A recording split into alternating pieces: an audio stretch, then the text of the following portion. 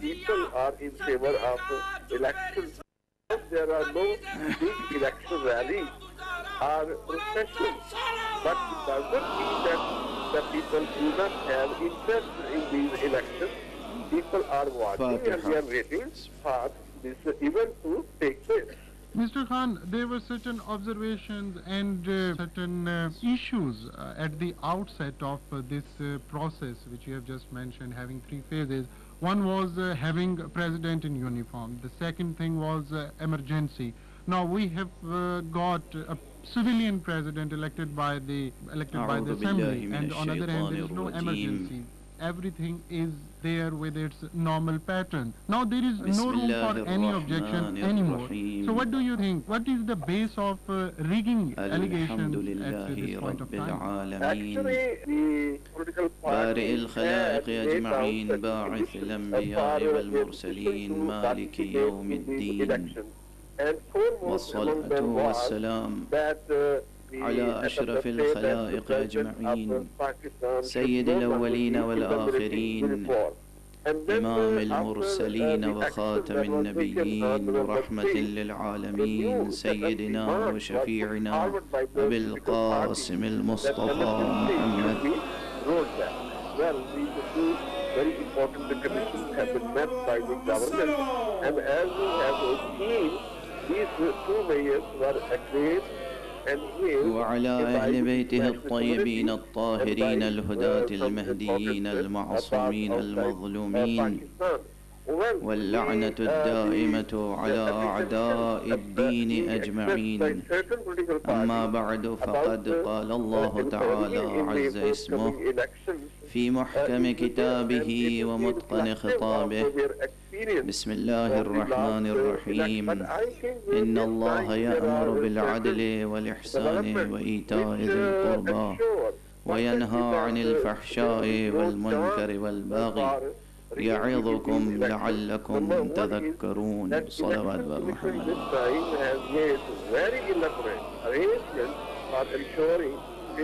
ایک مرتبہ اور بلندر صلوات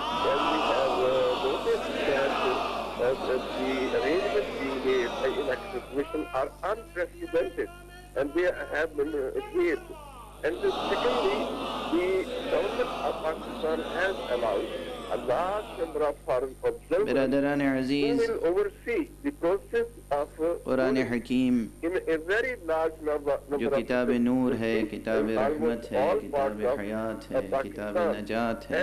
and thirdly, عالم انسانی کو نسخہ کیمیائے امن و عافیت عطا کر رہا ہے۔ ارشاد الہی ہے سورہ مبارک میں۔ سورہ نحل غالباً سولہمہ سورہ ہے قرآن مجید کا۔ اس کی یہ بہت ہی مشہور و معروف آیت ہے۔ اور بظاہر بہت واضح مضمون کی حامل ہے۔ اگرچہ اس واضح مضمون کی گہرائی اتھا ہے۔ Mr. Khan, to hold free, fair and transparent elections is responsibility and to ensure that there are certain uh, measures which have been taken by Election Commission of Pakistan. One of them is the presence of polling agents throughout the uh, election process on the election day. The other thing is uh, having transparent ballot boxes as well as other measures. So don't you think that this time political parties and leadership should عَنِ avoid الْفَحْشَاءِ وَالْمُنْكَرِ وَالْبَغْيِ allegation of rigging in elections. And I think اور that, تمہیں uh, منع فرماتا ہے decision being- has- having been made by the ناکردنی government باتوں has سے uh, the ناگفتنی باتوں سے uh, uh, اور سرکشی. سے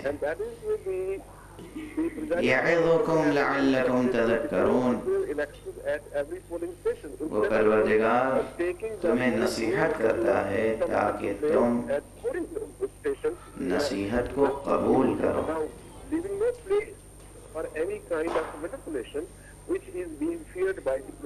آپ نے دیکھا کہ آیت کے الفاظ بہت واضح ہیں۔ مگر یہ آیت جو آپ کو بہت واضح نظر آ رہی ہے بے انتہا بحث طلب اور غور طلب ہے۔ اس لیے کہ آپ نے اس بات پر توجہ فرمائی ہوگی کہ میں نے بعض الفاظ کا ترجمہ کیا ہی۔ جو اصل عربی میں کلمات تھے وہی میں نے اردو میں عرض کر becomes- خصوصیت کے ساتھ دو کلمات عادل. اور احسان مگر یہ آیت جو آپ کو بہت واضح نظر آ رہی ہے بے انتہا بحث طلب اور غور طلب ہے۔ اس لیے کہ آپ نے اس بات پر توجہ فرمائی ہوگی کہ میں نے بعض الفاظ کا ترجمہ کیا ہی نہیں۔ جو اصل عربی میں کلمات تھے، وہی میں نے اردو میں عرض کر دیے۔ خصوصیت کے ساتھ دو کلمات، عادل اور احسان۔ میں نے نہ عادل کا ترجمہ کیا اور نہ احسان کا ترجمہ کیا۔ اس لیے کہ عربی زبان کے یہ وہ الفاظ ہیں جن کا ترجمہ کسی ایک لفظ میں تقریباً ناممکن ہے۔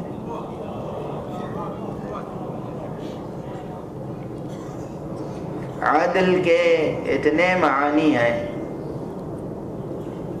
اور اس کے ایک ایک معنی کی اتنی گہرائیاں ہیں کہ ان تمام معانی کے ساتھ کسی ایک لفظ میں، کسی دوسری زبان میں ترجمہ کر دینا ممکن نہیں ہے۔ ہاں یہ ممکن ہے کہ ایک لفظ عدل کے ضمن میں، اس کے ذیل میں جتنے مفاہیم اور معانی ہیں، ان کو علیحدہ علیحدہ الفاظ اور تعبیرات کے ذریعے پیش کر دیا جائے۔ اور اگر یہ انداز اختیار کیا جائے تو تن تنہا اس ایک لفظ عادل کے ترجمے کے لیے ہزاروں صفحات پر مشتمل صحیفہ درکار ہوگا۔ ایک لفظ عادل کے اور یہی صورت تقریباً لفظ احسان کی ہے۔ اسی لیے میں نے تقریباً ہر لفظ کا ترجمہ کر دیا۔ مگر ان دو الفاظ کا ترجمہ نہیں کیا۔ اور ان دو الفاظ اور اس آیت کی روشنی میں آج جو موضوع گفتگو ہے یا جو پیغام ہے، وہ پیغام دراصل یہ ہے کہ دنیا کے لیے امن اور عافیت کا نسخہ کیا ہے۔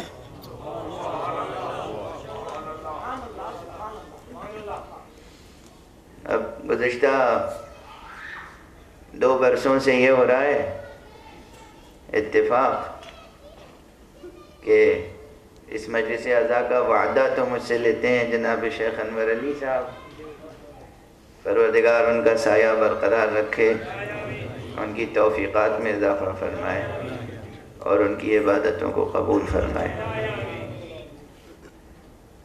لیکن جب میں مجلس پڑھنے کے لیے آتا ہوں تو میرے ساتھ سید معید حسنین حیدر زیدی سلم ہوتے ہیں۔ وہ آتے آتے ایک عنوان دے دیتے ہیں۔ آج بھی انہوں نے عنوان دیا کہ امن عالم پر گفتگو کیجیے میرا ارادہ یہ تھا کہ آج گفتگو اسی موضوع پر ہو جس موضوع پر کل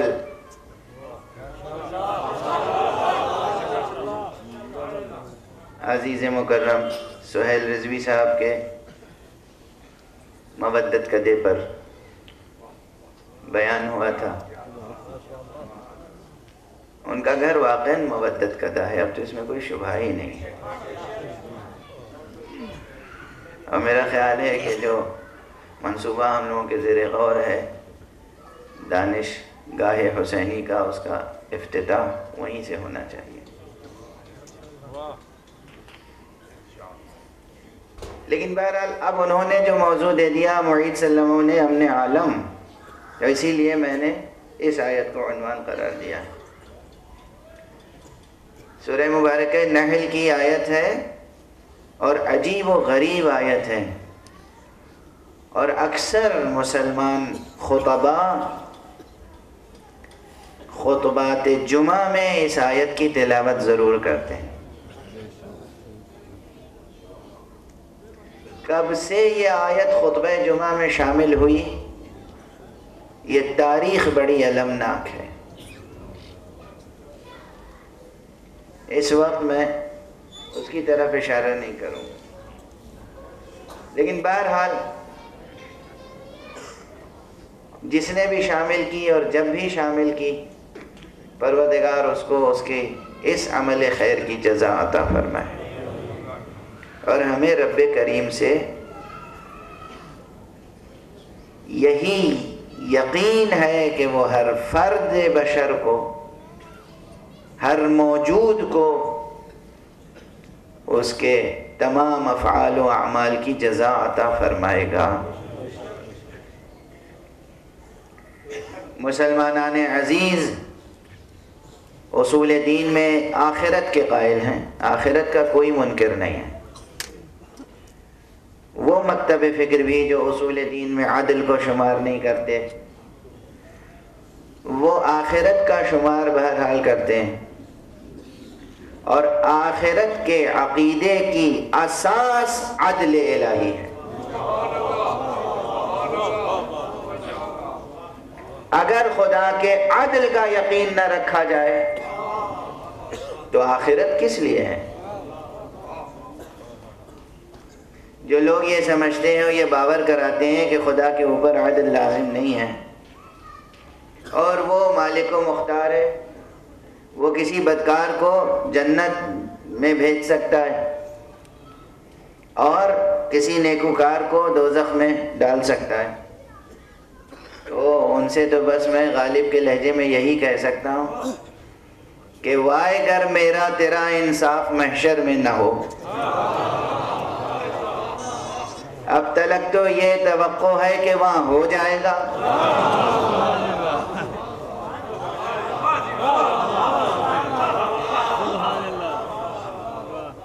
اور یہ ایک میری ہی صدائے حال تھوڑی ہے۔ ہر فرد بشر کی صدائے حال یہی ہے۔ دنیا کے جتنے مظلوم ہیں، وہ قیامت کی آس لگائے بیٹھے ہیں۔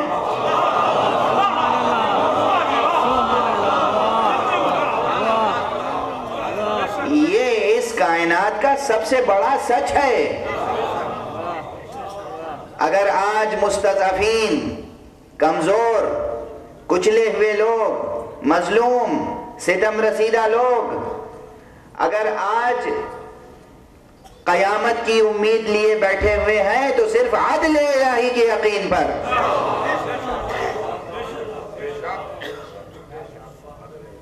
میرا یقین ہے کہ روز آخرت جہنم میں سب سے پہلے ان علماء کو ڈالا جائے گا جو عدل الہی کے منکر ہیں۔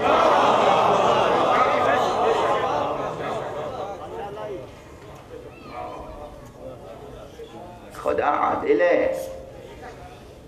اگر وہ عادل نہ ہوتا تو ہمیں عدل کا حکم کیسے دیتا؟ خدا نہ ہوا۔ حافظ شیراز کا واعظ ہو گیا۔ شعراء واعظین کو، شیخ کو، واعظ کو، ملا کو ہمیشہ سے کچھ کہتے آئے ہیں۔ مشہور شعر ہے حافظ کا تو واعظان کن جلوہ بر محراب و منبر می کنند۔ چون به خلوت می روند آن کار دیگر می کنند یہ واعظ یہ تو محراب و ممبر میں جو جلوہ فرماتے ہیں وہ جب خلوتوں میں ہوتے ہیں تو پھر ان کا رنگ کچھ اور ہی ہوتا ہے. اور اس کے ترجمے کے طور پر ایک شعر میں ممبر پہ کئی بار پڑھ چکا ہوں، یہاں بھی پڑھ دیتا ہوں. اگرچہ لفظی ترجمہ نہیں ہے، مگر جو بات کہی گئی ہے وہ اس سے قریب ہے کہ اپنا اسلام تو ملا کی قبا ہے یارو۔ گھر میں رکھ دیتے ہیں، مسجد میں پہن لیتے ہیں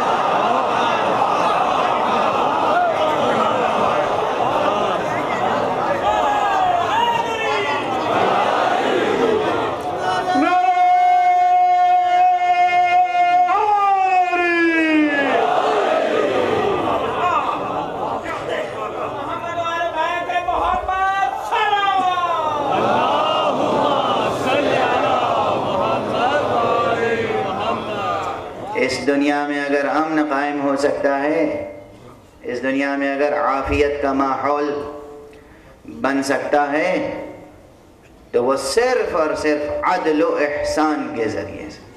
دونوں چیزیں ضروری ہیں۔ صرف عدل نہیں، احسان بھی ضروری ہے۔ عادل تو ظلم کو مٹا کر، ماحول کو توازن عطا کرتا ہے۔ احسان اس متوازن ماحول کو اور بھی زیادہ دل آویز بنا دیتا ہے۔ اس کی لطافت میں اضافہ کرتا ہے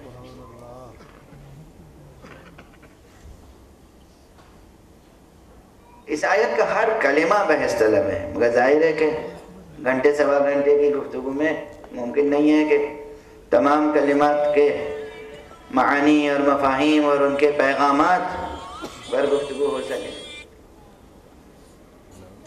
آج دن میں ایک چھوٹی سی نشست تھی، علمی۔ آپ ہی کے شہر کی ایک یونیورسٹی میں۔ وہاں میں عرض کر رہا تھا کہ عادل دراصل صفت ذات الہی ہے۔ صفت ہے عادل۔ اور وہ بھی کس کی صفت؟ اللہ کی صفت۔ صفت اس کی ہے، حکم ہمیں دے رہا ہے۔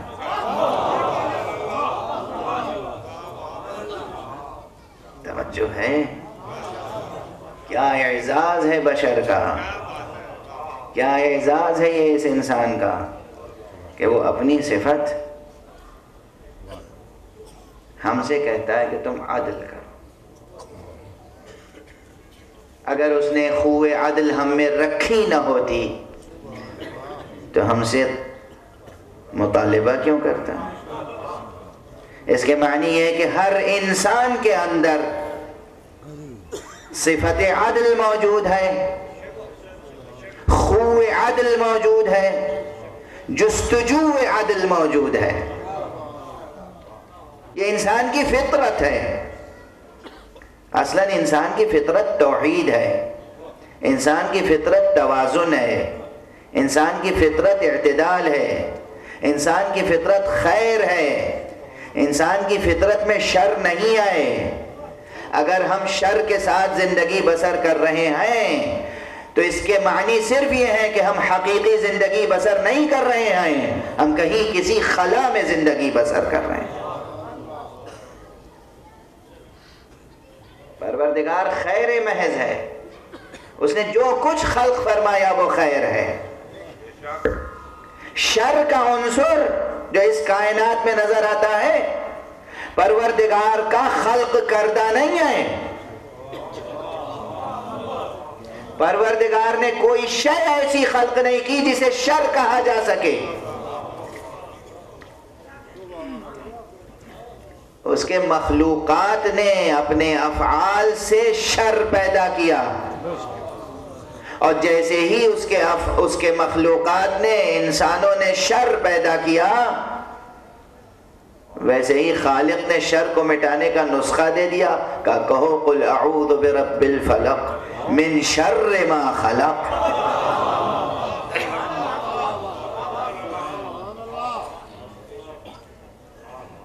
من شر ما خلق. شر کی نسبت خدا کی طرف کبھی نہیں دی جا سکتی. شر کی نسبت ما خلق کی طرف ہے. اور شر کی جتنی بھی قسمیں دنیا میں ہیں، وہ سب کی سب سورہ فلق میں آ گئی ہیں۔ بس ایک اشارہ میں نے کر دیا اور غور کرتے رہیے گا، پھر کسی موقع پہ چونکہ آج گفتگو خیر و شر کے موضوع پر نہیں ہے۔ اس لیے بس درمیان میں یہ جملہ کیا اور ساتھ میں چونکہ بہت بڑی تعداد میں خواتین بھی سن رہی ہیں، ہماری مائیں ہیں، بہنیں ہیں، خدا ان کی، ان کے جذبہ ایمانی میں برکت عطا فرمائے۔ ہمارے معاشرے میں توہم پرستیاں بہت ہیں۔ ضعیف الاعتقادی توہم پرستی۔ ذرا ذرا سی بات میں کچھ ماورائی آسیب کا توہم ہو جاتا ہے۔ سحر ہے، آسیب ہے، جن ہے بدروہیں ہیں، پتہ نہیں کیا کیا اعتقادات لیے بیٹھے ہیں۔ ان سب چیزوں کی کوئی حقیقت نہیں ہے۔ کوئی حیثیت نہیں ہے۔ کتنا ہی بڑا کوئی جادوگر ہو، کتنا ہی بڑا ساحر ہو، کتنی ہی سخت نظر بد ہو، کیسا ہی آسیب ہو قرآن پاک کے بس دو سورے اس کو مٹانے کے لیے کافی ہیں۔ سورہ قل اعوذ برب الفلق اور سورہ قل اعوذ برب الناس۔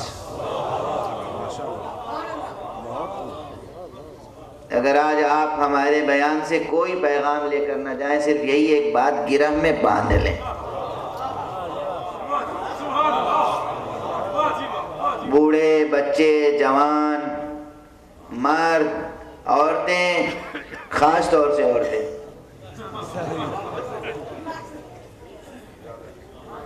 میری مائیں، بہنیں، گرہ میں باندھ لیں یہ بات۔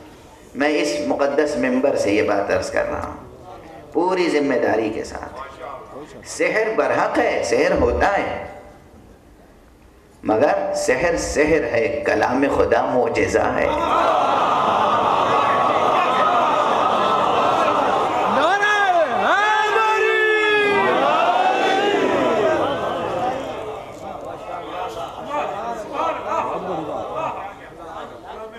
سحر سحر ہے سحر کا اثر ہوتا ہے، بالکل ہوتا ہے، شک نہیں۔ یعنی اگر اس مجمع میں ہمارے بالغ نظر جو دانشور ہیں اور شعراء ہیں، ان کے لیے تو یہ باتیں شاید پہلے سے حل شدہ ہوں، لیکن جو نوجوان ہیں، بچے ہیں، وہ شاید یہ سمجھتے ہوں کہ سورج کا پلٹانا زیادہ بڑا معجزہ ہے۔ چاند کا دو ٹکڑے کر دینا۔ زیادہ بڑا معجزہ ہے۔ درخت کو حرکت میں لے آنا زیادہ بڑا معجزہ ہے۔ ہتھیلی پر سنگریزوں کا کلمہ پڑھنا زیادہ بڑا معجزہ ہے۔ ان کو میں ایک بات بتا دوں اس وقت، اچھی طرح سمجھ میں آ جائے گی۔ اور وہ یہ ہے کہ یہ اتنے بڑے بڑے معجزے جسے آپ معجزہ سمجھ رہے ہیں۔ یہ معجزہ جس کلام کی وجہ سے ظہور میں آتا ہے، وہ کلام بڑا ہے یا معجزہ؟ آج تک کسی نے شک نہیں کیا۔ اور اس معجزے میں یہ ذکر ہے، اس قرآن میں یہ ذکر ہے کہ جناب موسیٰ کے مقابلے میں بہت سے جادوگر آ گئے تھے۔ ایک ایک موسیٰ تنے تنہا، ایک چھوٹا سا ان کا عصا اور مملکت فرعون میں جتنے بڑے سے بڑے ساحر تھے، وہ سب اکٹھا ہو گئے۔ سب کے سحر کو ایک عصا نکل گیا۔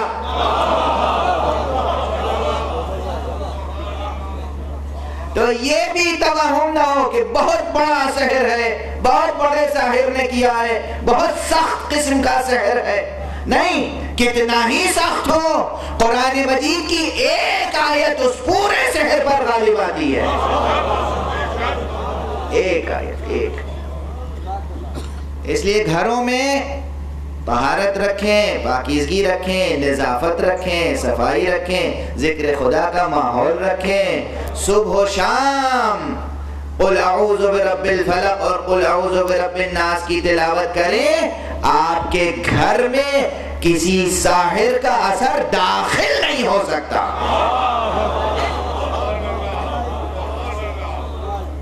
داخل نہیں ہو سکتا۔ اور سحر کو کاٹنے کے لیے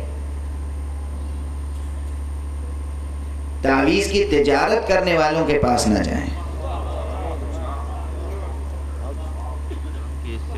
جنرل مولانا فضل الرحمان نے کہا ہے کہ دعا اور تعویز مال تجارت نہیں ہے۔ عملی اقدامات کرے گی انہوں نے یہ بات قومی اسمبلی اور بلوچستان اسمبلی کے لیے مال تجارت نہیں ہے۔ پر اسلام آباد سے خطاب کرتے ہوئے تعویز پیغمبر صلی اللہ علیہ وآلہ وسلم نے بھی تعلیم فرمایا۔ ہے حضور نے تعلیم فرمایا شام ضلع ننکانہ صاحب میں سانگلہ ہل کے مقام پر ایک جلسہ اور وہ کرتے ہوئے انہوں نے کہا کلمات قدسیاں ہیں جو حضور نے سکھائے بتائے۔ قرآن مجید کی آیتیں ہیں قرآن مجید کے حروف سے تعویز تیار ہوتے ہیں۔ ابھی بات درمیان میں آ گئی تو پھر مکمل ہی کر دوں۔ کیونکہ ہمارا معاشرہ بہت توہمات میں گرفتار ہے۔ بہت زیادہ ضعیف الاعتقادی۔ ہے اس لیے میں بہت وضاحت اور سراحت سے عرض کر رہا ہوں۔ کوئی صاحب نفس قدسیہ ہو، کوئی متقی ہو، پرہیزگار ہو، عالم ہو، اور وہ تعویز دے دے، آپ تعویز لے لیں، وہ تعویز اثر کرے گا۔ مگر تعویز کے تجارت گروں سے تعویز نہ لیں۔ اپنا وقت ضائع نہ کریں، اپنا پیسہ ضائع نہ کریں، اپنا ایمان ضائع نہ کریں۔ دین ایمان کا سودا نہ کریں۔ بہرحال، بات درمیان میں آ گئی تھی تو میں نے عرض کر دیا۔ ورنہ آج ظاہر ہے کہ اس موضوع سے کوئی ربط نہیں تھا۔ درمیان میں بات آ گئی۔ ہمارا معاشرہ بہت سے توہمات کا شکار ہے اور بہت سی کمزوریوں کا شکار ہے۔ لیکن سب سے بڑی کمزوری جو اس وقت پوری دنیا میں ہے، وہ ہماری بے امنی ہے۔ عافیت اور امن کے لیے انسان ترس رہا ہے۔ اور عافیت و امن کا ایک ہی علاج ہے، ایک ہی۔ اور وہ کیا ہے؟ عدل و احسان۔ وہ بھی کون سا عدل و احسان؟ جو عدل و احسان خدا کا سکھایا ہوا عدل و احسان ہے خدا کا عدل و احسان کچھ اور ہے دنیا جو عدل کے تصورات رکھتی ہے، وہ بہت ناقص تصورات ہیں۔ توجہ رہے۔ ظاہر سی بات ہے کہ آپ دنیا کے حالات مجھ سے زیادہ بہتر جانتے ہیں۔ اگرچہ ایسا نہیں ہے کہ میں بے بی میں بے خبر ہوں۔ مظہری معتکف حجل افکار تو ہے مظہری بے خبر کلفت ایام نہیں۔ کچھ نہ کچھ تو خبر ہے۔ تو آج جسٹس کا تصور کیا ہے؟ جسٹس۔ بار بار میڈیا میں لفظ آتا ہے نا۔ جسٹس۔ یہ کسی سپریم کورٹ کے جسٹس کی بات نہیں ہے۔ عالمی جسٹس کی بات ہے۔ جو لوگ یا جو ممالک یا جو ملک یا جو طاقت دعوے دار ہے کہ ہم دنیا میں جسٹس قائم کریں گے، اس سے یہ تو پوچھئے کہ جسٹس کی ڈیفینیشن کیا ہے۔ تعریف کیا ہے ڈیفینیشن ہم اس وقت تک مثلا اپنی کارروائیاں جاری رکھیں گے جب تک کہ دنیا میں عدل قائم نہ ہو جائے اور بے امنی مٹ نہ جائے، دہشت گردی مٹ نہ جائے۔ ان سے پوچھے دہشت گردی کی ڈیفینیشن کیا ہے؟ زندہ مسائل ہیں، زندگی کا ناسور ہے۔ انسانی زندگی کے مسائل ہیں، صرف مسلمانوں کے مسائل نہیں ہیں۔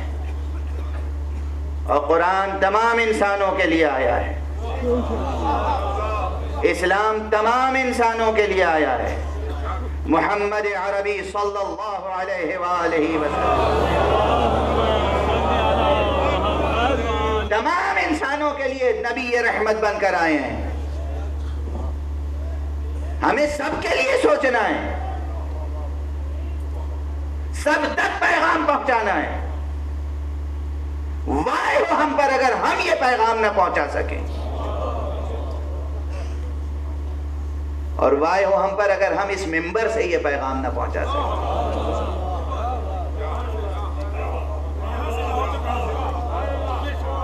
مثلا سامنے آپ کے۔ ایک ملک ہے جس کی طرف سے کوئی بے امنی کی بات آج تک ہوئی نہیں۔ میں اسلامی جمہوریہ ایران کی بات کر رہا ہوں۔ آپ بتا دیجیے، کسی ملک پہ ایران نے حملہ کیا ہو؟ کسی ملک پہ حملہ کرنے میں شرکت کی ہو؟ وہ اپنے ملک کے لیے مثلا نیوکلیئر پاور تیار کر رہے ہیں اور بار بار کہہ رہے ہیں کہ ہم پرامن مقاصد کے لیے تیار کر رہے ہیں۔ توجہ ہے۔ برننگ ایشو ہے یا نہیں؟ سلگتا ہوا مسئلہ ہے یا نہیں؟ صرف ایران کا مسئلہ ہے۔ انسانوں کا مسئلہ نہیں ہے۔ وہ کہہ رہے ہیں، آئیے دیکھ لیجیے، بسم اللہ، تشریف لائیے، دیکھ لیجیے۔ ہم اپنے گھر کا چراغ روشن کرنا چاہتے ہیں۔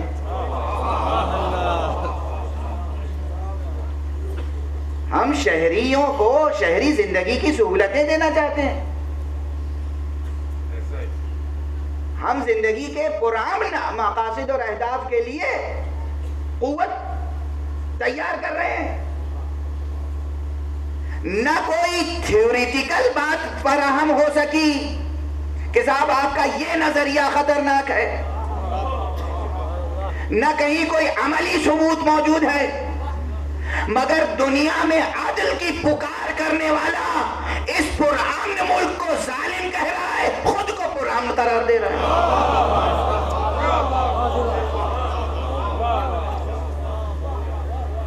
اور ہمارے یہاں توجہ ہے۔ توجہ ہے۔ ایسے ایشوز پر آپ کی واہ واہ کا آہستہ ہونا معنی رکھتا ہے، میں سمجھتا ہوں۔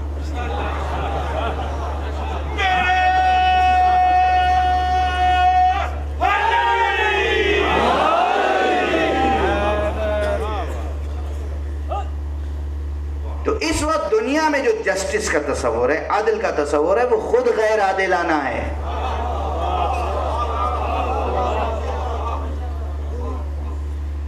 اس وقت جو دنیا میں چیریٹی کا تصور ہے، وہ خود غیر منصفانہ ہے۔ اس میں احسان کا پہلو نہیں ہے۔ قرآن جو احسان کا تصور انٹروڈیوس کر رہا ہے، وہ کچھ اور ہے۔ قرآن جو عادل کا تصور انٹروڈیوس کر رہا ہے، وہ کچھ اور ہے۔ اور یاد رکھیے ایک جملہ یہاں پر، پروردگار عالم نے ہمیں عادل کا حکم تو دیا ہے، مگر خدا کی قسم، آج تک اس نے خود ہمارے ساتھ عادل کا معاملہ نہیں کیا، احسان ہی کا معاملہ کیا۔ اگر خدا آج عادل کا معاملہ ہمارے ساتھ کرے، تو یہ دنیا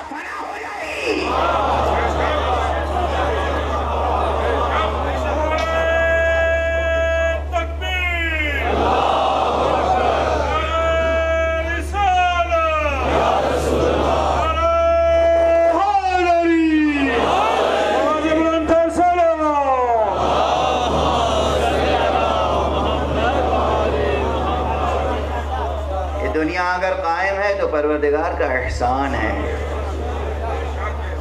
اگر انسان اتنے کروڑوں، اربوں، کھربوں، گناہوں، خطاؤں، جرائم کے باوجود زندہ ہے، سانس لے رہا ہے، تو پروردگار کا احسان ہے۔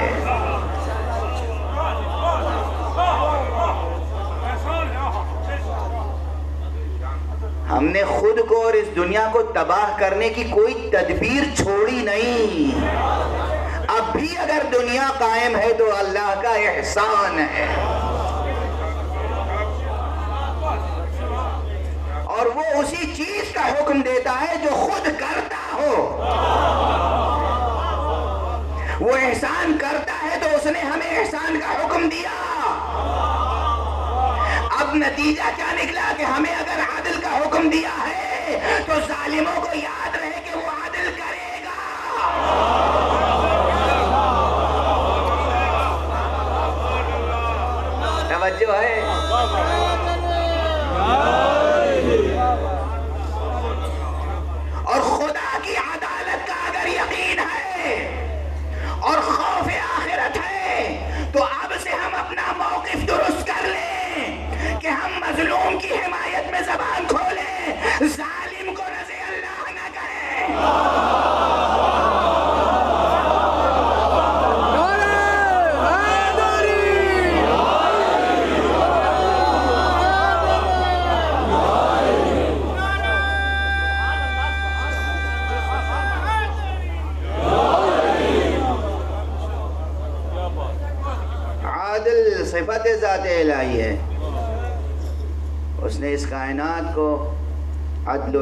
کے ساتھ خلق فرمایا۔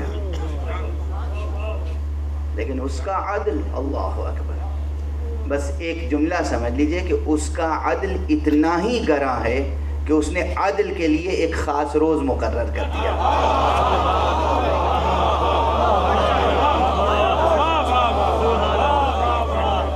اتنا ہی گراں ہے اس کا عدل کہ اس نے اپنے عدل کے لیے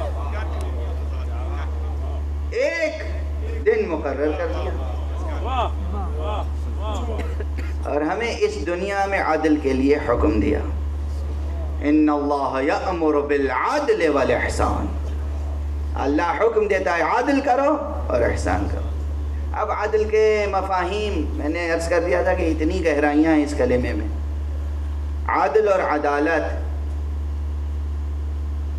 دن میں میں نے عرض کیا تھا کہ چار جہتیں ہیں، پانچویں جہت چھوڑ دی تھی۔ صرف گناؤں گا، اب جو کہہ چکا وہ مقرر ارشاد نہیں ہوگا۔ عادل کا ایک تصور ہے اخلاقی۔ اخلاقیات میں عدالت کے معنی کچھ اور ہیں۔ اگرچہ تمام مختلف مفاہیم میں اشتراک پایا جاتا ہے، امتیاز بھی ہے، اشتراک بھی ہے۔ علم اخلاق ایک عدل کا تصور دیتا ہے، عدالت کا۔ شخصیت انسانی میں، کہ انسان میں شجاعت ہو، عفت ہو، حکمت ہو، اور یہ تینوں صفتیں یا جتنی بھی صفتیں انسان میں ہوں، وہ توازن کے ساتھ ہوں۔ غیر متوازن اگر صفتیں ہو گئیں، تو سیرت و شخصیت انسانی کا حسن رائے گا ہو جائے گا۔ جتنا علم ہو، اتنی عدالت ہو۔ جتنا علم ہو اتنی شجاعت ہو، جتنا علم ہو، اسی اعتبار سے عفت ہو۔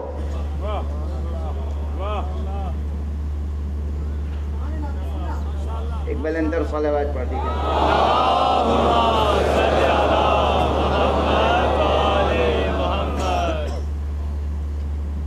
تو اخلاق نے ایک، علم اخلاق نے، ایتھکس نے، یا مورل سائنس نے، ارسطو سے لے کر آج تک یہ ہمیں سمجھایا کہ شخصیت میں ایک توازن، ایک عدالت ہونی چاہیے۔ دوسرا عدالت کا تصور وہ ہے کہ جو سیاست میں ہے یا سماجیات میں ہے یا قانون میں ہے۔ اور وہی زیادہ تر لفظ عدالت و عدل سے ذہنوں میں آتا ہے۔ کہ کسی نے کسی پہ ظلم کیا تو اس ظلم کا بدلہ لینا عادل ہے۔ یا ظلم کی سزا دینا عادل ہے۔ بھئی یہیں پہ ایک جملہ کہہ دوں۔ اللہ نے دو لفظیں ساتھ ساتھ استعمال کیے نا۔ ان اللہ یامر بالعدل والاحسان۔ ظلم کا بدلہ لینا عدل ہے، معاف کر دینا احسان۔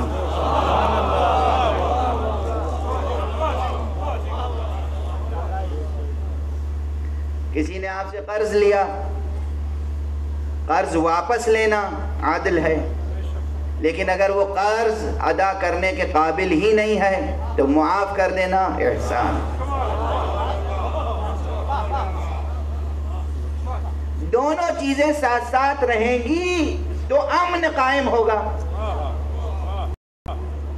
صرف عادل کے سہارے سے بھی امن تو قائم ہو جائے گا، مگر وہ امن دلاویز نہیں ہوگا۔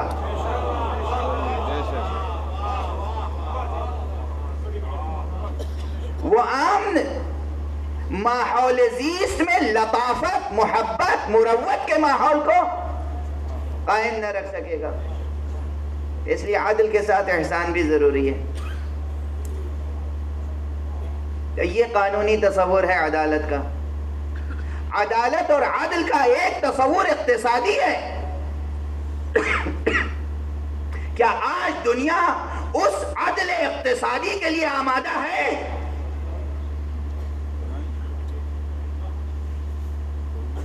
توجہ رہے یہاں اس مجمع میں امیر و کبیر بھی ہیں، غریب و مفلس بھی۔ اس مجمع میں دانشور و انٹلیکچول حضرات بھی ہیں اور سادہ لو افراد بھی۔ تو ایک بات عرض کر رہا ہوں کہ دنیا میں بعض غریب ملک ہیں، فقیر ملک ہیں۔ ٹیلی ویژن پر دکھایا جاتا ہے اور یونائٹڈ نیشنز میں ان میں بڑی بحث ہوتی ہے اور کیا موٹے موٹے آنسو ٹپکتے ہیں۔ کہ دیکھیے، مثلا یوتھوپیا میں، مثلا تنزانیہ میں، مثلا کینیا میں، مثلا فلاں ملک میں، مثلا فلاں ملک میں۔ غربت ہے، افلاس ہے، لوگ بھوک سے مر رہے ہیں۔ انسان دوسرے انسان کو کھانے کے لیے تیار ہے۔ اور ان کی امداد کے لیے اپیلیں ہوتی ہیں اور امداد کے منصوبے بنتے رہتے ہیں۔ جتنے دنوں میں منصوبے بنتے ہیں، اتنے دنوں میں ہزاروں لاکھوں جانیں طلب ہو جاتی ہیں۔ جبکہ بڑے سرمایہ دار ملکوں کے پاس اتنی دولت موجود ہے کہ اگر بر وقت وہ اپنی زکات نکال دے تو ان کا مسئلہ حل ہو جائے۔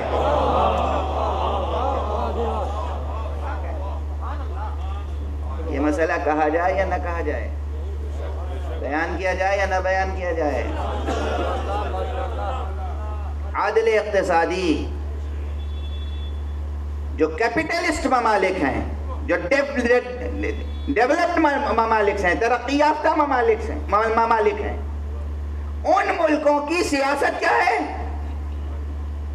غریب ملک غریب سے غریب تر ہوتا جائے۔ ایسا نہ ہو کہ کل ان کے برابر آ جائے۔ یہ عدل اقتصادی ہے۔ یونائٹڈ نیشنز کی میں نے بھی وزٹ کی ہے، زیارت کی ہے۔ یونائٹڈ نیشنز کی لائبریری میں بیٹھ کے بھی کچھ تھوڑا سا ورک کیا ہے۔ طالب علم کا کام کیا ہے؟ جہاں بھی کتابیں ہوں گی، وہاں پہنچ جائے گا۔ اتفاق سے وہاں بھی کچھ کتابیں ہیں۔ اور وہاں کام کرنے والے حضرات سے میں نے گفتگویں کی۔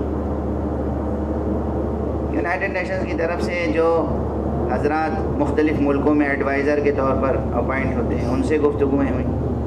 تو معلوم ہوا، ہم اپنے ملک کی بات کر رہے ہیں، بھارت کی۔ کہ یونیسیف اور یونیسکو اور جتنی بھی ذیلی شاخیں ہیں یونائٹڈ نیشن سے مربوط ادارے ہیں وہ جب ہمارے ملکوں کو کچھ دیتے ہیں، تو وہ مال دیتے ہیں جو ان کے لیے قابل استفادہ نہیں رہ جاتا۔ اور وہ مال جو قابل استفادہ نہیں رہ جاتا، وہ بھی مفت نہیں دیتے۔ اس کی قیمت اتنی لیتے ہیں کہ ہماری سات نسلیں گروی ہو جاتی ہیں، رہن ہو جاتی ہیں۔ آج کی بات کر رہا ہوں، آج کی، اکیسویں صدی کی، جہاں چارٹر آف ہیومن رائٹس لاگو کیا جا رہا ہے۔ اور کہا جا رہا ہے، ہر اسکول میں چارٹر آف ہاں ہیومن رائٹس پڑھایا جائے۔ اور فرمایا آپ نے۔ تو ایک عدل ہے، عدل اقتصادی۔ جب تک عدل اقتصادی قائم نہیں ہوگا، دنیا میں کوئی عدل قائم نہیں ہو سکتا، کوئی امن قائم نہیں ہو سکتا۔ اسی لیے دنیا میں امیر المومنین علی ابن ابی طالب علیہ السلام کا ایک جملہ ہمیشہ یاد رکھا جائے گا تاریخ میں، فرمایا، انا قتیل العدالہ، مجھے میری عدالت ہی نے قتل کیا ہے. عدالت علی عدالت علی عدالت علی۔ امیر المومنین علیہ السلام بیت المال میں تمام مملکت اسلامی کا مال آتا تھا اور بغیر امتیاز کے سب کو تقسیم ہوتا تھا۔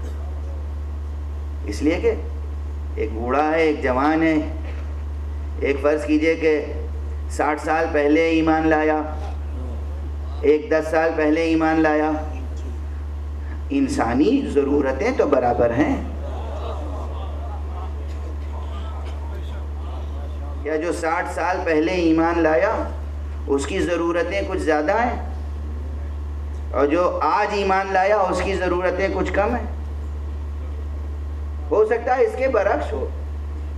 جو ساٹھ سال پہلے ایمان لایا، اس وقت اس کی غذا چار روٹیاں رہی ہوں گی یا بوڑھا ہو چکا ہے، ایک ہی روٹی کافی ہوتی ہوگی۔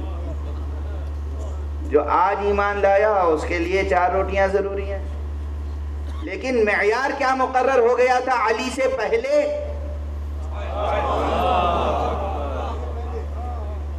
کہ بیت المال سے جو رقم تقسیم ہوتی تھی، وہ اس میں تفاوت تھا۔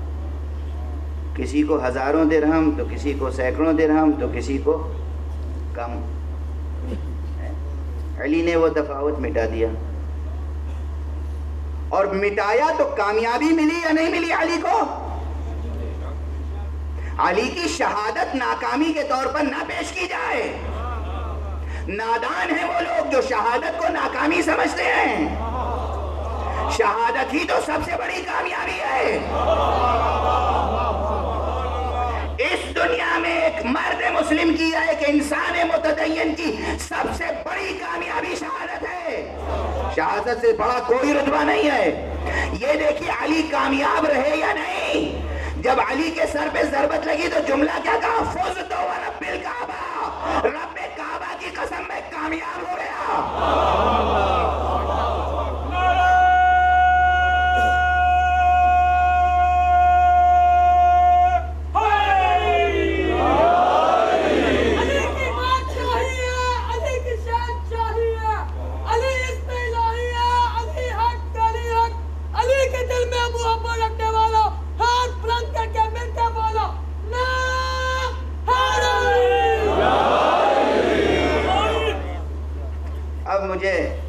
جاری رکھنے دیں جب مجھے ضرورت محسوس ہوگی تو میں آپ سے صلوات کی درخواست کروں ورنہ بیان دیکھنا رہ جائے گا۔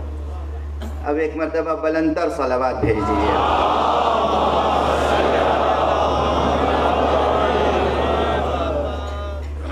یہ جو مولا کائنات نے فرمایا، جو لوگ نعرے لگاتے ہیں، میں ان کے جذبات کی قدر کرتا ہوں۔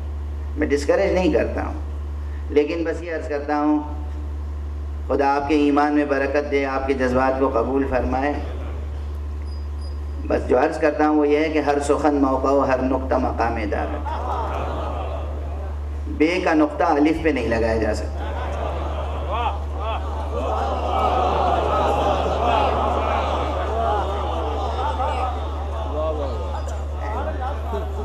ہر نقطے کی ایک جگہ ہے۔ ہر گفتگو کا ایک محل ہے، ہر نعرے کا ایک موقع ہوتا ہے۔ داد و درود ہر چیز کا موقع ہوتا ہے۔ بے موقع داد بے داد کہلاتی ہے۔ اور جوانوں سے بہتر کون سمجھتا ہوگا؟ علی گڑھ مسلم یونیورسٹی کا کلچر تو یہ تھا کہ جو اس زمانے میں جب بہت ہی معیاری شعراء آیا کرتے تھے۔ معیاری شعراء۔ جن میں سے ہر شاعر ایک دبستان ہوتا تھا۔ لیکن اگر کسی طالب علم نے بیجا داد دے دی، تو اس کا مطلب یہ ہوتا تھا، گویا پیغام ہے کہ آپ کا کلام ہم سننا نہیں چاہ رہے۔ اب آپ فیصلہ کیجیے مجھے سننا چاہ رہے ہیں یا نہیں سننا۔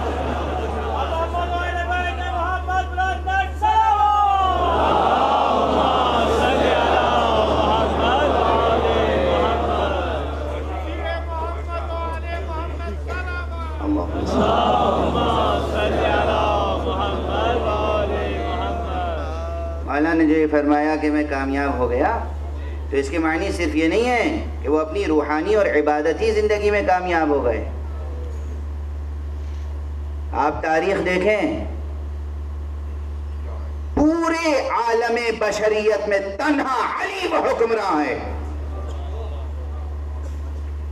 جس نے اپنے قاتل کی آنکھوں میں آنکھیں ڈال کے پوچھا، کیا میں تیرا برا حکمراں تھا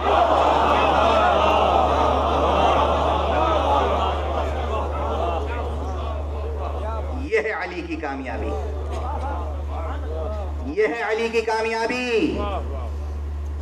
پڑھ لیں تاریخ میں یہ جملہ ہے یا نہیں ہے؟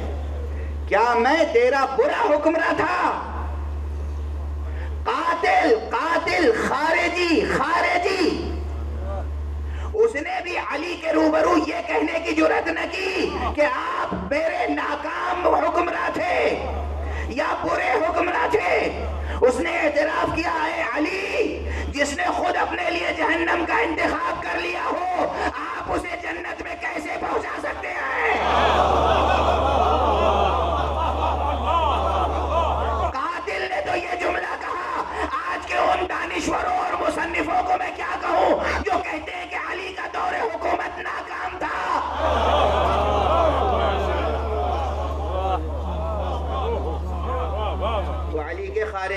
سے بھی بدتر ہیں یا نہیں؟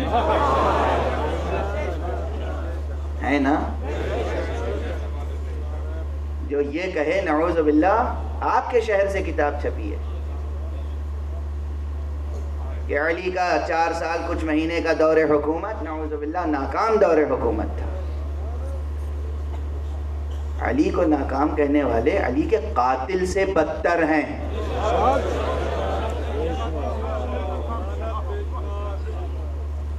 قاتل تھا۔ علی نے اس کی آنکھوں میں آنکھیں ڈال کے پوچھا، کیا میں تیرا برا حکمراں تھا؟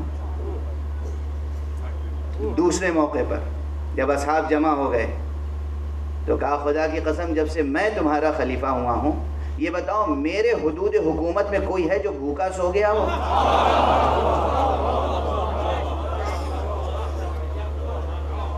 میں چیلنج کر رہا ہوں، پوری تاریخ بشریت میں کسی اور حکمراں کو دکھا دو جس نے یہ چیلنج کیا ہو۔ کوئی ہے جو بھوکا سو گیا ہو؟ توجہ ہے۔ یہ ہے علی کی کامیابی اور اقتصادی عدالت۔ اقتصادی عدالت۔ اخلاقی عدالت، قانونی عدالت، اقتصادی عدالت، جمالیاتی عدالت۔ دینیاتی عدالت۔ کتنے تصورات ہو گئے عدالت کے؟ پانچ تصورات تو یہیں آ گئے۔ ہر تصور عدالت کے ضمن میں کتنی گہرائیاں ہیں، کتنی بحثیں ہیں، وہ آج نہیں ہو سکتی۔ اور پھر عرض کروں، علی نے عدالت بھی برتی۔ اور احسان بھی برتا۔ اور چونکہ علی مظہر صفات خدا تھا۔ غلط کہا میں نے جملہ، غلط کہا میں نے جملہ۔ اچھا بتائیے آپ میں نے غلطی کہاں کی؟ جزاکم اللہ۔ جزاکم اللہ۔ علی مظہر صفات خدا تھا نہیں، علی مظہر صفات خدا۔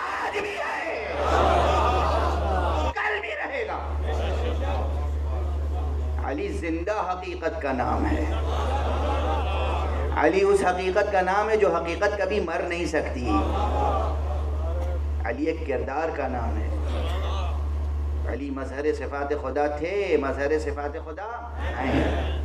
کیا اختیار کیا ہے اپنے لیے اسلوب؟ عادل کم ظاہر ہوا، احسان زیادہ۔ یہی علی کی زندگی ہے۔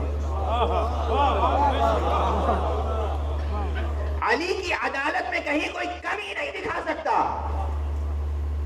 مگر علی کی عدالت سے علی کا احسان ہمیشہ آگے آگے نظر آتا ہے۔ اور اگر دنیا میں امن قائم ہو سکتا ہے، تو تمام عالم انسانی سن لے۔ میں پھر حوالہ دے دوں پہلے۔ دو برس، تین برس قبل کی بات ہے۔ کوفی انان کے زمانے میں یونائٹڈ نیشنز کے آفیشل ویب سائٹ پر مولا کائنات امیر المومنین علیہ السلام کے عہد نامہ مالک اشتر کے اقتباسات دیے گئے تھے۔ اور کہا گیا تھا کہ دنیا کی حکومتوں کو ان کو ان اقوال کو پیش نظر رکھنا چاہیے۔ تب دنیا میں امن قائم ہو سکتا ہے۔ میں نے خود اپنی آنکھوں سے پڑھا۔ میرے پاس ہارڈ کاپی اس کی موجود ہے ہو سکتا ہے اب وہ ایڈٹ ہو گیا ہو پیج موجود نہ ہو، لیکن ایک عرصے تک موجود رہا۔ یونائٹڈ نیشنز کے آفیشل ویب سائٹ پر مولا کائنات کا وہ عہد نامہ عہد نامہ مالک اشتار جو مولا کائنات نے تحریر فرمایا تھا، اس کے اقتباسات کے مسلم ممالک کو بطور خاص اور دنیا کے تمام ممالک کو ان نکات کو سامنے رکھنا چاہیے۔ تب دنیا میں امن قائم ہو سکتا ہے اور حقوق بشری کی حفاظت ہو سکتی ہے۔ توجہ ہے۔ تو یہ ہے جناب امیر المومنین، اب میں عرض کر رہا ہوں، یونائٹڈ نیشنز نے تو کہی دیا ہے، ہمارا پہلے سے بھی اعتقاد تھا، آج بھی اعتقاد ہے۔ وہ بھی سن لیں جو علی کے چار سال کچھ مہینے کے دور حکومت کو نعوذ باللہ ناکام یا کمزور دور حکومت کہتے ہیں۔ قیام قیامت اگر کبھی بھی پورے معاشرے انسانی میں امن اور عدالت قائم ہو سکتی ہے، امن قائم ہو سکتا ہے، تو صرف سیرت علوی پر چل کر قائم ہو سکتا ہے۔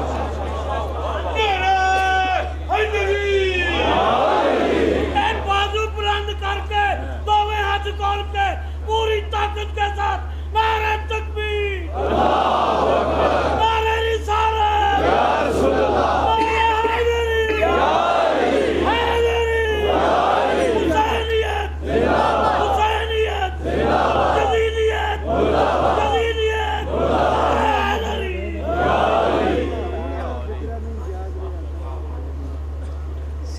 صرف ایک راستہ ہے امن کا۔ اللہ کا راستہ، قرآن کا راستہ، اسلام کا راستہ، محمد عربی کا راستہ۔ وہ راستہ جو مرتضی نے دکھایا۔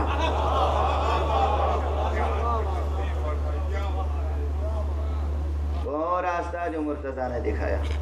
اور اب محدود وقت میں نہ تو عدالت کے معنی بیان کر سکا میں اور نہ احسان کے، لیکن اب واقعات عرض کر دوں۔ عدالت تو اسی سے ظاہر ہے کہ قاتل کی آنکھوں میں آنکھیں ڈال کر۔ علی نے پوچھا کہ کیا میں تیرا برا حکمراں تھا؟ اور اس نے اعتراف کیا کہ نہیں۔ علی کے قاتل نے خود اعتراف کیا ہے کہ جس نے خود جہنم کا انتخاب کر لیا ہو، آپ اسے جنت میں کیسے پہنچا سکتے ہیں؟ اور آج کا دانشور علی اور حسین کے قاتلوں کو جنت میں پہنچانے کی کوششیں کر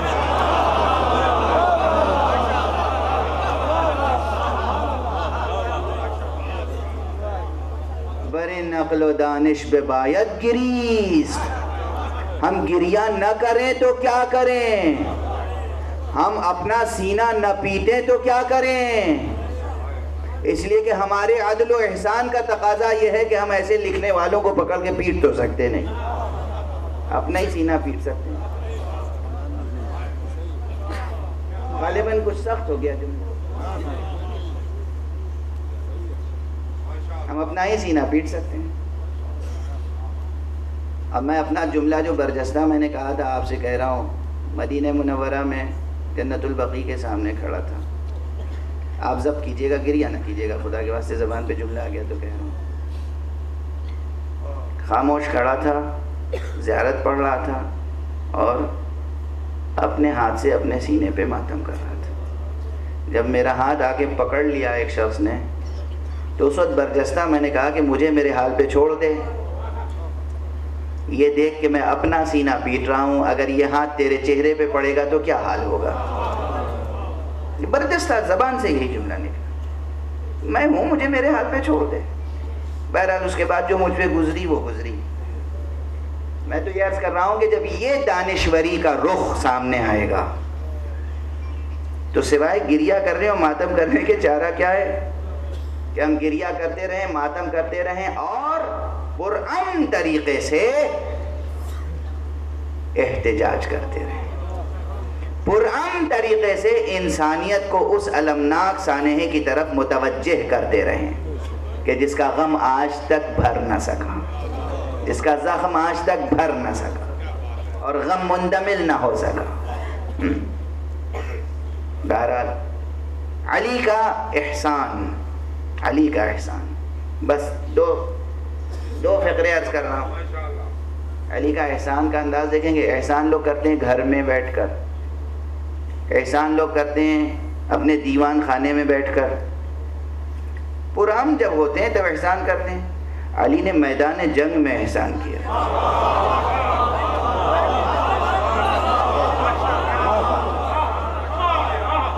علی کا احسان، میدان جنگ میں احسان۔ امن کیسے قائم ہوگا دنیا میں؟ ایک لفظ کا اور اضافہ کر دوں۔ عادل احسان ایثار۔ فارمولہ امن کا یہی ہے۔ عادل، احسان، ایثار۔ ایثار علی دیکھیں اور احسان علی دیکھیں۔ کتنے واقعات ہیں۔ پوری زندگی علی کی ایثار و احسان سے پورا ہے آپ صرف شجاعت کے واقعات سنتے رہتے ہیں۔ جتنے کارنامے آپ شجاعت کے حوالے میں پیش کرتے ہیں، وہ سب کارنامے علی کے ایثار کے حوالے سے غور کیجیے۔ میں ایک جملہ عرض کر رہا ہوں۔ سرفراز صاحب، آپ اسے شعر کے قالب میں ڈھالیں گے۔ میں ایک جملہ عرض کر رہا ہوں۔ پروردگار عالم کے صفات میں عادل ہے اور احسان، مگر اس کا عادل کم ظاہر ہوا، احسان زیادہ۔ علی کے صفات میں شجاعت ہے اور ایثار شجاعت کم ظاہر ہوئی ایثار زیادہ۔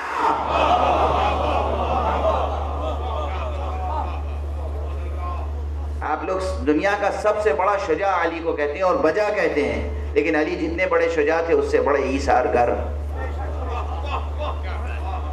کہاں کہاں علی کا ایثار دکھاؤں؟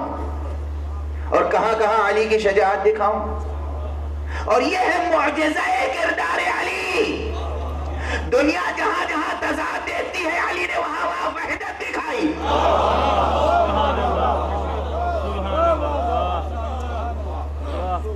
دنیا کہتی ہے، شجاعت اور ایثار یکجا نہیں ہو سکتے، علم اور شجاعت یکجا نہیں ہو سکتے، رحم اور شجاعت یکجا نہیں ہو سکتے۔ ہیں؟ علی نے تمام صفتوں کو یکجا اس طرح پیش کیا کہ ہر دوئی کا علی کو رکن توحید نہ کہیں تو کسے کہیں۔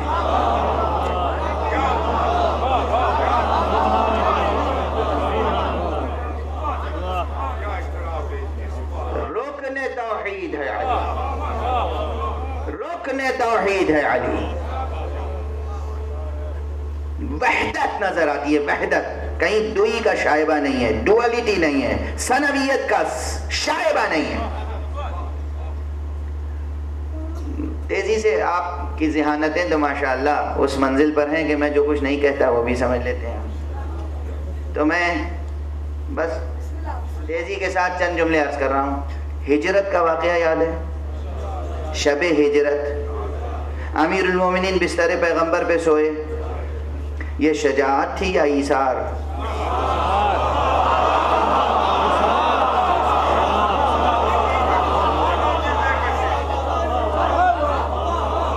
آپ سب لوگ اسے شجاعت کہتے ہیں۔ شجاعت بھی تھی، مگر ایثار اس سے زیادہ تھا۔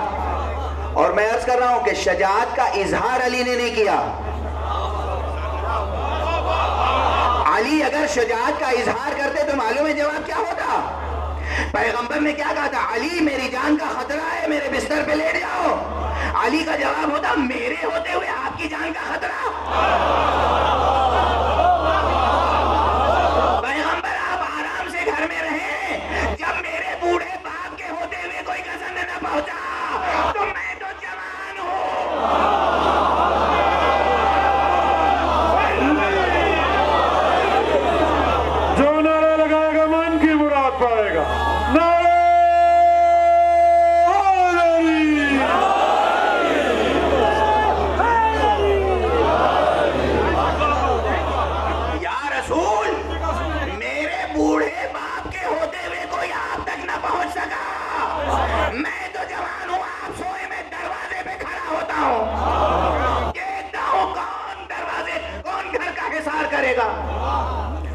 کی قسم، قریش کے سب کے سب سنادید اور بہادر اور شجاع یکجا ہو جاتے، تب بھی کیا علی مغلوب ہو جاتے؟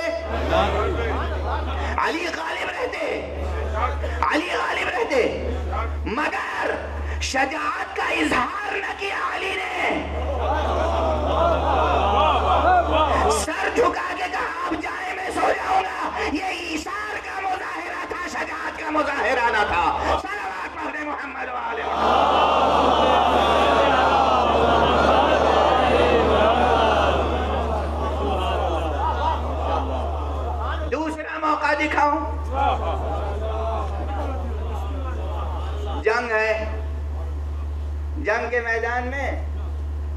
مقابل پہ آ گیا، کافر ہے مشرق ہے، بت پرست ہے، مگر علی کی کچھ خصوصیتوں سے واقف ہے۔ آ گیا۔ اور اس نے آ کر کہا کہ، اے فرزند ابو طالب دیکھیں علی سے جب کسی کو کام لینا ہوتا تھا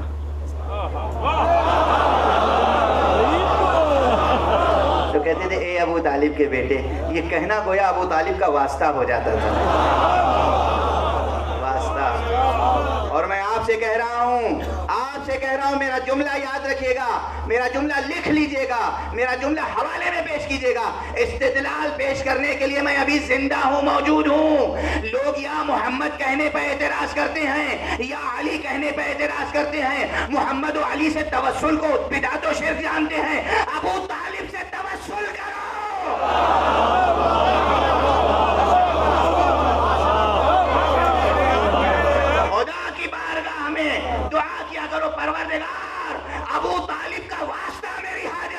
حاجت پوری کر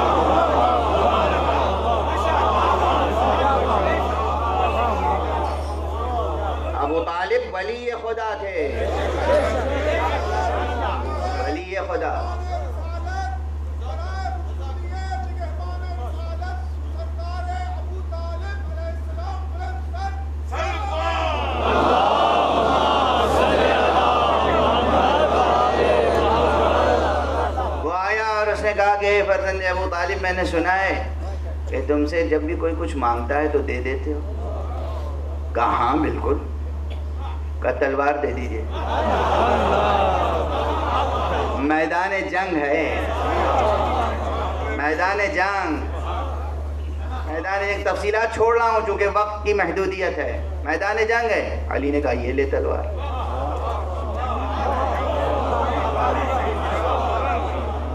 یہ کوئی اور شعر نہیں، اللہ کا شعر ہے۔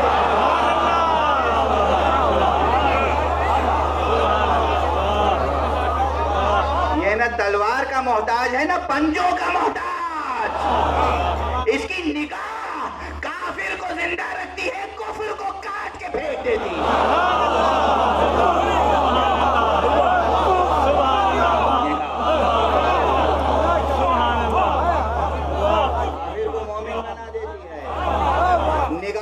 مرد مومن سے بدل جاتی ہیں تقدیریں، سوائے علی کی نگاہ کے آج تک کوئی اور نگاہ اس کے سند میں آ نہیں سکتی۔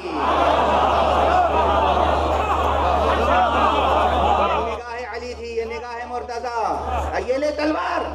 اس نے تلوار لی علی اطمینان سے۔ کوہ کرم بنے کھڑے۔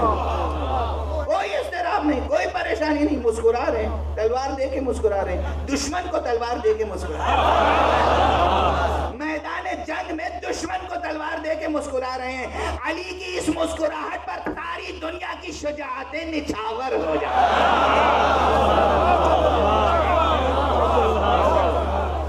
تصدق ہو جائیں، قربان ہو جائیں۔ اس نے علی کی مسکراہٹ دیکھی، اطمینان دیکھا اور اس کے بعد بڑی جرت کر کے پھر ایک سوال کیا۔ کہا، علی، یہ بتاؤ، اب تم کو مجھ سے کون بچا سکتا ہے؟ کہا، جس نے اب تک تجھ کو مجھ سے بچایا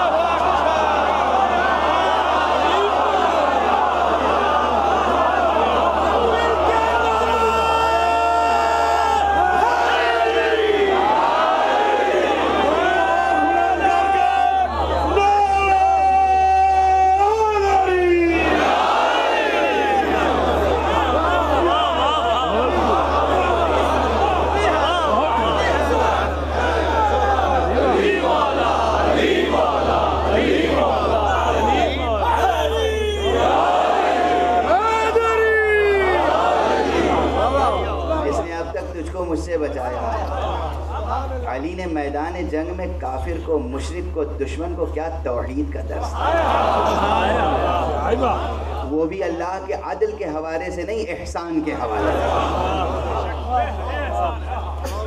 خدا کا احسان کہ اس نے تجھ کو مجھ سے، میرے ہاتھوں سے قتل ہونے سے بچایا اس کا احساس جیسے ہی دلایا، اس نے اپنی تلوار بھی اور علی کی تلوار بھی قدموں پہ رکھ دی۔ کہ اشہد اللہ الہ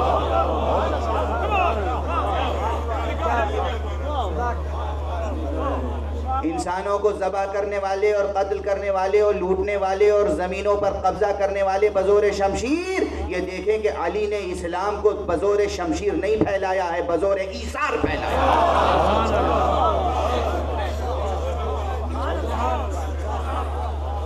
بزور ایثار علی پھیلا ہے اسلام، نہ بزور تلوار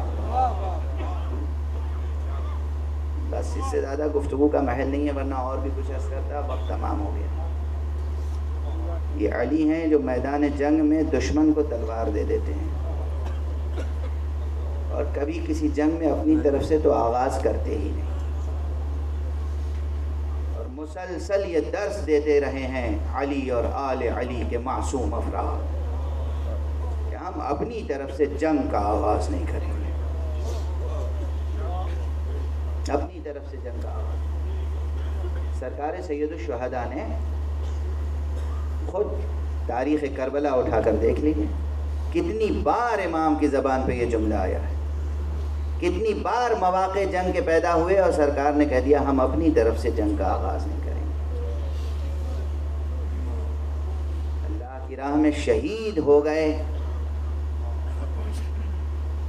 ورنہ اگر اپنی شجاعت سے کام لیتے تو کوئی انہیں قتل کر سکتا تھا۔ قتل کر سکتا۔ تھا صاحب اعجاز تھے، صاحب کرامات تھے۔ ایک بد دعا حسین کی پورے لشکر کو خاکستر بنا سکتا مگر حسین نے صبر اور ایثار کو اختیار احسان کو اختیار احسان احسان حسین۔ آج یہ پوری دنیا قائم ہے نا، یہ احسان حسین۔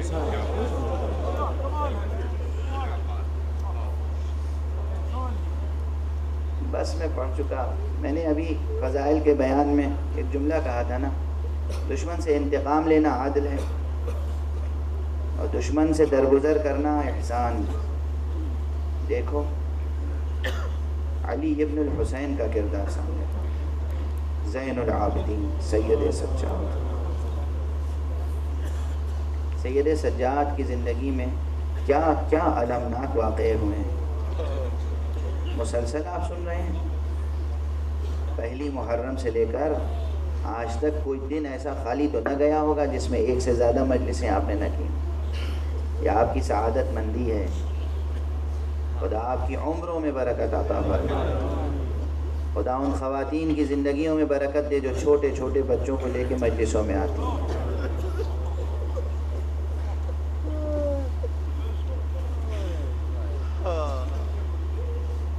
علی ابن الحسین نے اتنے مصائب دیکھے مگر خود کسی سے بھی انتقام نہ لیا۔ خدا انتقام لے گا، اس میں کوئی شک نہیں ہے۔ مگر علی ابن الحسین کا احسان علی ابن الحسین کا ایثار مدینے کے اطراف میں ایک شخص پڑا ہوا ہے، پیاسا ہے، بھوکا ہے، تنہا ہے، جہاں بلب ہے۔ علی ابن الحسین گزر رہے ہیں ادھر سے۔ جو کچھ سید سجاد کے پاس ہے، سب اسے دے دیا۔ بزرگ ہیں، وہ سمجھ گئے میں کس واقعے کی طرف اشارہ کر رہا ہوں۔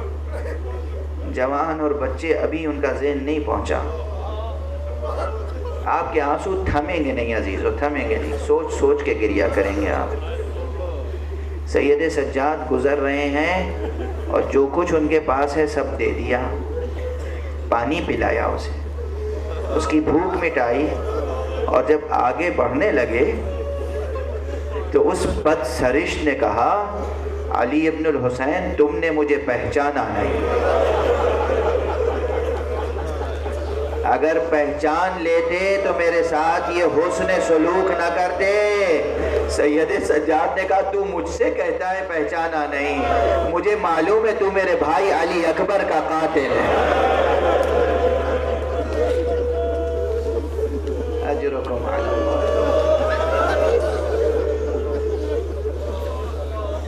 احسان احسان اہل بیت، احسان اہل بیت، احسان اہل بیت.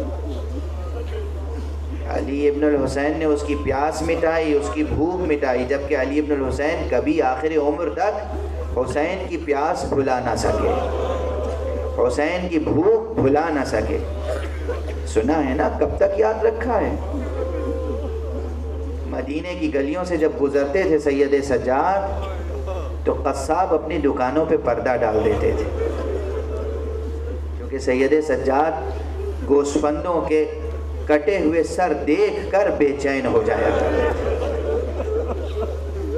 آپ دیکھیں تو حسین شہید ہوئے، حسین کے اہل بیت شہید ہوئے، اصحاب شہید ہوئے، لیکن شہید ہو گئے، لاشیں پامال ہو گئے۔ تاریخ ہے نا، اس میں کوئی میں مبالغہ تو نہیں کر رہا ہوں، کوئی داستان سرائی تو نہیں کر رہا ہوں۔ اس کے بعد حسین کے اہل حرم اور چھوٹے چھوٹے بچوں کے سامنے کتنے دنوں تک کٹے ہوئے سر دشمن لیے پھر کتنے دنوں تک؟ نو کے نیزہ پہ سر بلند ہے، چھوٹے چھوٹے بچے دیکھ رہے ہیں۔ شقاوت کی کوئی انتہا ہے؟ چھوٹے چھوٹے بچے کربلا سے کوفہ کوفہ سے شام شام کے دربار میں کبھی نو کے نیزہ پہ سر، کبھی کسی تشت تلا میں کسی حاکم کے سامنے سر رکھا ہوا ہے اور اس سر مبارک سے چھڑی سے بے ادبی کی جا رہی ہے۔ اس طرح کی بے ادبی، اس طرح کی بے ادبی کہ ایک صحابی بے چین ہو جاتا ہے اور کھڑا ہو کے کہتا ہے کہ او یزید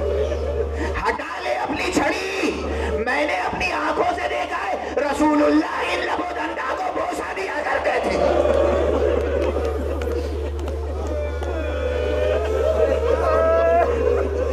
کتنے دنوں تک وہ کٹے ہوئے سر خاک و خون میں آلودہ سر سید سجاد کے سامنے رہے، چھوٹے چھوٹے بچوں کے سامنے رہے کہ پھر کیفیت یہ ہو گئی تھی کہ کسی جانور کا، کسی حیوان کا، کسی گوسفت کا بھی کٹا ہوا سر دیکھ نہیں سکتے تھے۔ اور اس لیے اس لیے مدینے کے قصابوں نے یہ طریقہ اختیار کر لیا تھا کہ جب سید سجاد کو دیکھتے تھے کہ آ رہے ہیں، پردہ ڈال دیتے تھے، دکان بند کر دیتے تھے۔ جب آپ گزر جاتے تھے تو پھر دکان کھولتے تھے۔ ایک مرتبہ یہ ہوا کہ سید سجاد کو آتے ہوئے دیکھ نہ سکا۔ قصاب کی نظر نہ پڑی۔ سید سجاد جب قریب آ گئے اور گوسفندوں کے کٹے ہوئے سروں کو دیکھا، چہرہ متغیر ہو گیا۔ زمین پر بیٹھ گئے۔ اس کی جیسے ہی نظر پڑی، آیا دست ادب جوڑ کے کہا، آقا مجھے معاف کر دیجیے۔ میری نظر نہ پڑی۔ امام نے فرمایا، لا علیک، تیرے اوپر کوئی کوئی گناہ نہیں ہے، مگر اتنا بتا دے تو نے گوسفندوں کو ذبح کیا تھا تو پانی پلایا تھا یا نہیں؟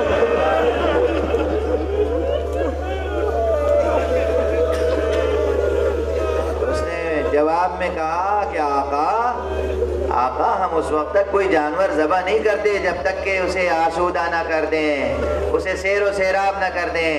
سرکار نے آسمان کی طرف دیکھا اور فرمایا، خدا کی قسم، میرا بابا تین دن کا بھوکا پیاسا ذبح کیا گیا۔ کب تک سید سجاد کو یہ بھوک اور پیاس اور یہ علمناک سانحہ یاد رہا؟ کب تک یاد رہا؟ آخر عمر تک، آخر عمر تک۔ اصحاب آتے تھے تسلی دینے، دلاسا دینے۔ صحیح روایت ہے، صحیح روایت ہے۔ چاہنے والا صحابی کیا کہہ سکتا تھا؟ یہی کہتا تھا، آقا کب تک گریا کریں گے؟ امام اتنا گریا کرتے تھے کہ آپ کے سامنے وضو کے لیے پانی لایا جاتا تھا۔ وہ پانی آنسوؤں سے مل کر آب مضاف ہو جاتا تھا۔ دوبارہ پانی لایا جاتا تھا۔ دوبارہ پانی لایا جاتا تھا۔ امام سے کہا، آپ کب تک گریا کریں گے؟ فرمایا، تم نے انصاف نہیں کیا۔ یعقوب نبی تھے اور ان کے بارہ بیٹے تھے۔ ایک بیٹا نگاہوں سے اوجھل ہو گیا تھا۔ اور علم نبوت کی بنا پر معلوم تھا کہ زندہ ہے۔ مگر اتنا گریا کیا کہ آنکھیں بے نور ہو گئی میرے سامنے تو اٹھارہ یوسف خاک و خون میں غلطہ ہو گئے۔ اور وہ بھی بھوکے اور پیاسے۔ چاہنے والے نے پھر تسلی دینی چاہی، مگر جتنا وہ چاہتا تھا کہ زخم پر مرہم لگائے، اتنا ہی زخم اور گہرا ہوتا جاتا تھا۔ اس نے کہا، آقا، اللہ کی راہ میں قربان ہونا تو آپ کے خاندان کی روایت ہے۔ تڑپ گئے۔ اور فرمایا کہ ہاں ہاں اللہ کی راہ میں قتل ہو جانا، شہید ہو جانا۔